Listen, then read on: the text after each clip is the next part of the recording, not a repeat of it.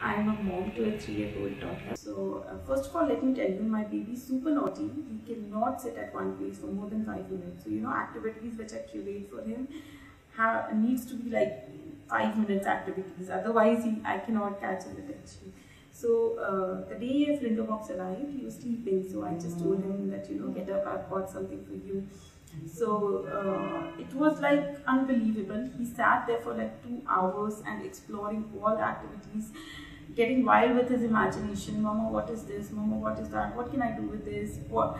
Uh, there was this alligator, so he, you know, he started scaring me with that. And uh, uh, he's telling uh, when his dad came home, he was like, Dad, you know, I got this box. It has all these kind of stuff. So even he enjoyed playing with his child uh, with the activities. So um, I mean, I really liked it. I mean, the kind of attention they have put, the kind of uh, super important details that they have put in uh, while curating the box.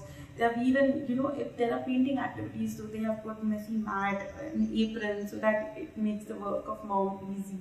So I think these activities are very important for kids for their all-round development. I mean, at home you don't pay attention to all-round development of your child, like uh, spatial development, cognitive, fine motor skills, learning, creativity, imagination. So all these areas need to be covered and uh, the first five years of a child is very important for their growth and their uh, laying the foundation of, of their future. So I really like the box. They have this booklet along with it in which they you know mention what needs to be discussed with the child while doing the activities. Even after that, uh, you know, they you, you can mark the development of the child. So you know later on you see how the activities they have grown like doing it. So I really liked it. I mean, uh, it, it's it is helping my son and my uh, you know husband develop a quality bond uh, because they spend good time together discussing all these stuff.